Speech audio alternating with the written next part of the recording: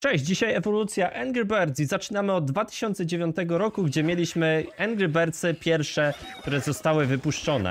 2010 to jest Angry Birds Season, które tutaj widzicie. Ja nie grałem akurat w tę wersję. 2011 Angry Birds Rio, które się aż tak bardzo nie różniły od poprzednich.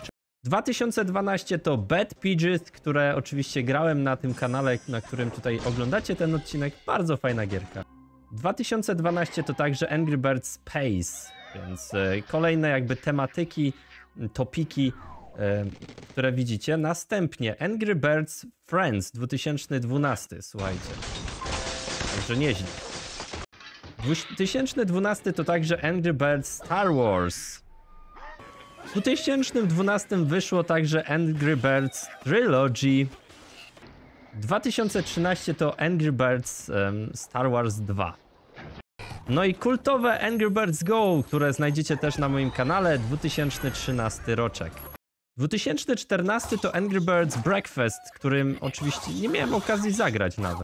W tym samym roku wy wyszło też Angry Birds Breakfast 2.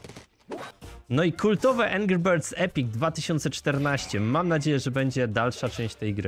W 2014 wyszły też Angry Birds Stella i Angry Birds Transformer, które znajdziecie na moim kanale. 2015 to Angry Birds 2, które też jest y, na moim kanale, oczywiście. 2015 to Angry Birds Pop i nawet 2016 Angry Birds Goal, które nie grałem w ogóle, chyba mi nie działa. 2016 to Angry Birds Blast, a w 2017 wyszło Angry Birds Evolution.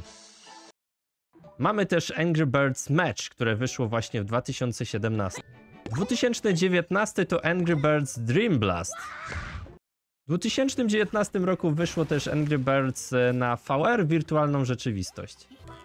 2019 to także Angry Birds Explore, którego nie grałem. A w 2021 roku wyszło Angry Birds Reload.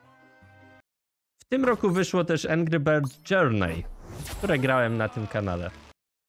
A tobie która część Angry Birdsów się podobała najbardziej? Mi Epic oczywiście.